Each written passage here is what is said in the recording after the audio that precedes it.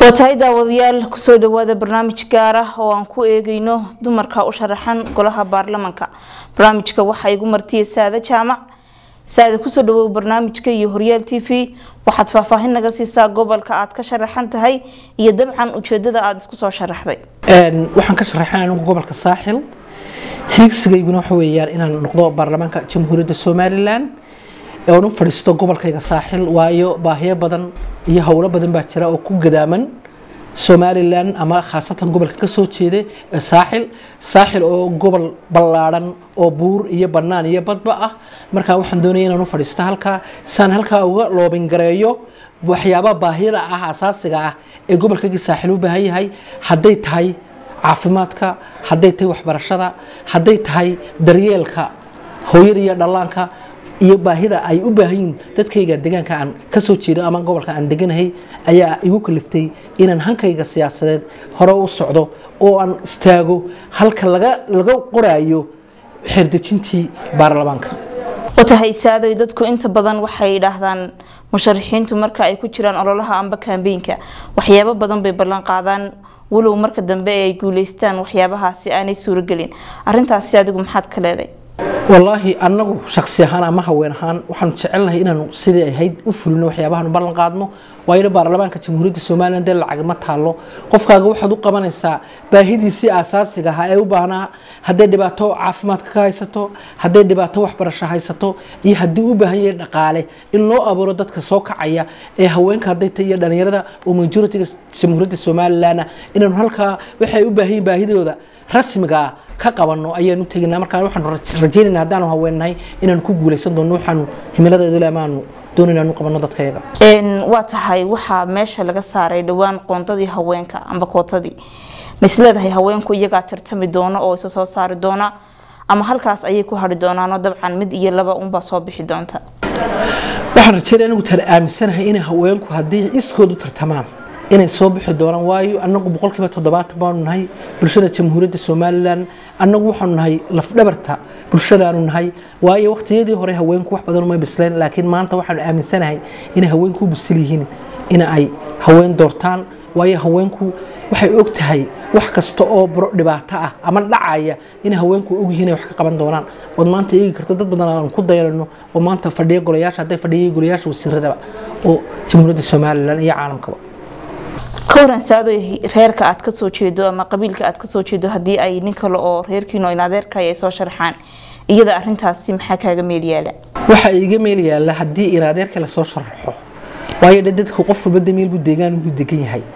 Waxaan rajeynayaa insha allah hadday tahay salaadintayda somalilan ama dee cidda aniga iyo sandaladaya ah inay aniga waxyaabahan qaban doono iyo waxaan bulshadeeda u qabtayba iyo aqoontaydaba inay igu eegi doonaan ay mudnaantay siin doonaan inannimo ayaan rajeynaya saadoy intay in leeg baad rajo ka qabtaa in ay guud ahaanba haweenku ku codayn doonaan?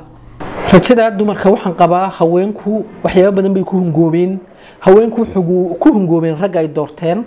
Oo runtii aan dub ugu noqon oo aan is odhan haweenka idin doortay ee dhibaatada idiin waday ee bacadka idiin maray ee meel walba idiin istaagay ku noqda marka waxaan aaminsanahay rajadaan qabo in haweenka jamhuuriyadda somalilan iyo dhallinyaraduba maanta hooyooyinkood ama dumarka ay dooranayaan. Waayo dhe waxyaaba badan baa maanta la arkay oo la ogyahay in maanta aanu fadho ka taagannahay raggii golayaasha baarlamaanka iyo golayaasha deegaanka noogu fadhiistay. Rajo fiican inaanay haweenka dhiirigelin dhallinyaradii dhiirigelin oo shaqalaan jirto baahsani marka waxaan rajeynayaa insha allah haddii ilaahay igu guulaysiiyo inaan rajo badan ka qabi doono oy haweenku i dooran doonaan kartidayda aqoontayda iyo waxaan u qabanayaba. Saadoy waxaa jiray dumar kaa horeeyey oo iyagu ku jira golaha baarlamaanka walow aanay tiradoodu badnayn maadaama iminkana meeshii laga saaray qoondadii haweenka ama kootadii. Raje intee leeg baad ka qabtaa in ay haweenku kuraasta ugu badan ee golaha baarlamaanka ay ku guuleysan doonaan? Rajadan ama qabo ama aaminsanahay waxa weeyaan kolley maanta sidii hore lahaan jiray waa laga bislaada haweenkii maanta way bislaadeen. Waxaa jira hay'ado badanoo ku xaluuqa oo maanta haweenka dhiirigeliya ay ka mid yihiin haweenweynaha nagaad. Runtii oo in badan ku soo jirtay in haweenku siyaasadda u bislaadaan iyo enjooyo kaleo madax bannaan iyaguna hawshan ka shaqeeya. Waxaan rajaynayaa ama aan qabaa inay maanta haween badani ay soo bixi doonaan waayo haweenkii mutacalimiintaabaa jooga. Dadkii imika way fahmeen. Siyaasaddii waa loo bislaaday hadday tahay lixda gobol ee jamhuuriyadda somalilan ee tartanku ka socdo waxaanu rajeynaya inaanu qabnaa inaanu maanta gidaaro badan duqayn doonno. Waxaana berber taagan hablihii wariyaha baana berber taagan. Waxaana berber taagan hablihii looyarada baana berber taagan. Waxaana berber taagan ardaydii jaamacadahana berber taagan. Waxaana berber taagan dadkii doonayay in haweenka ay caawiyaan ama hadday dhaqaalo noqoto iyo hadday noqoto materialba waxay ku hawlgeli lahaayeenba ayna berber taagan. Waxaan rajaynayaa maanta rajadaanu qabno haddaanu haweennahay meel kastaba haweenku ha joogeene inaanu kuraasi badan hanan doonno haddii ilaahay nagu guulaysiiyo insha allah saadoy inta badan waxaa la yidhaahdaa dumarka waaweyn iyagunbaa isa soo sharaxa walow barkooda aanay aqoonba lahayn. Hablaha iyaga da-yarta ah ee iyagu waxbartay ee han siyaasadeed leh iyaga kuwaasi maxaa idinka meel yaalla hablaha dhalinyarada waxaa nooga meel yaalla waayo dhade waxyaabaha lagu gala golayaasha deegaanka iyo baarlamaankuba waa kriteria iyo daweeye waxaanu rajaynaa hablaha iyaga dhalinyarada een hooyooyinka u nahay ee aanu dhalay inay golayaasha deegaanka.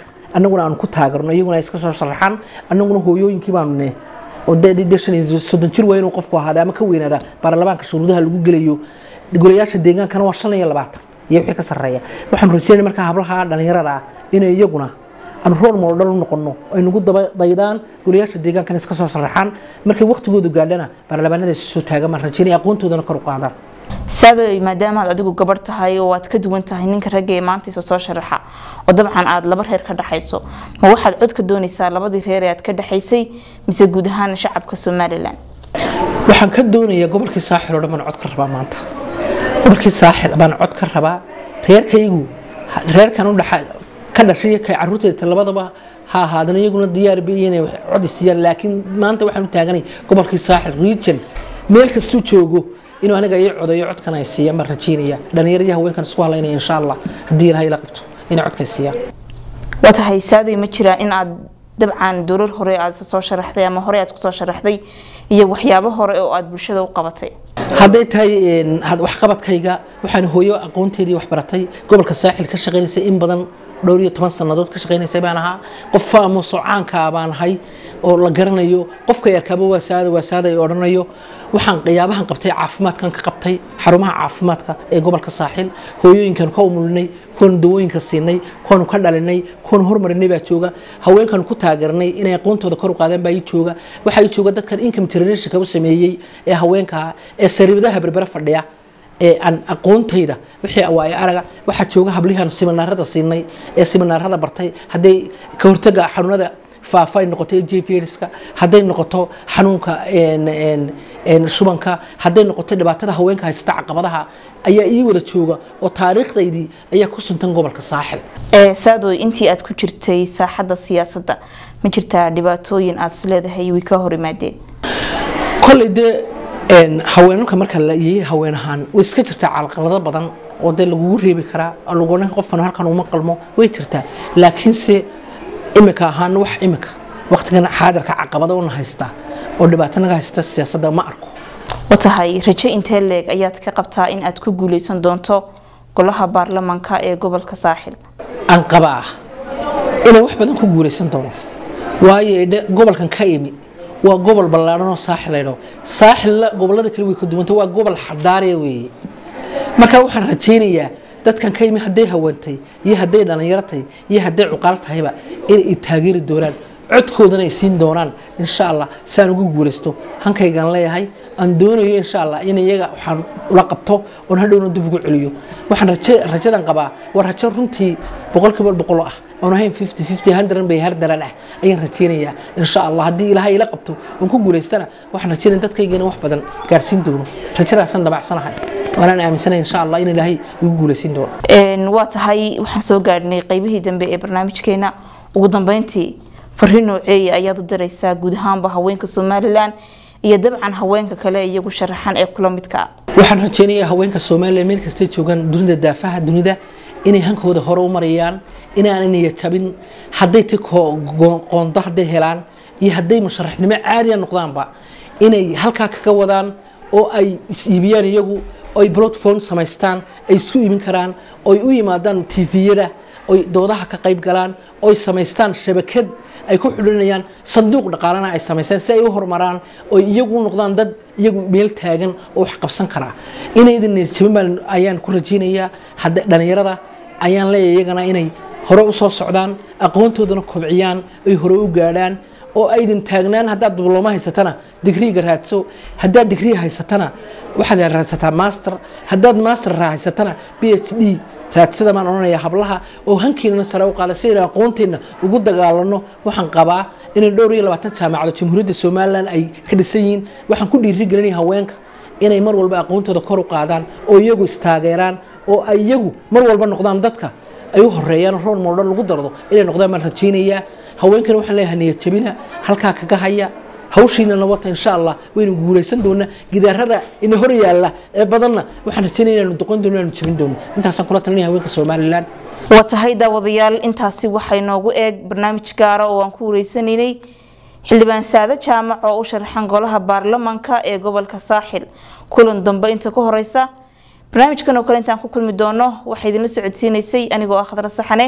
Kulan dambe inta ka horeysa waxaan idinku dhaafanaa asalaamu allaahi calaykum waraxmatullaahi tacaala wabarakaatu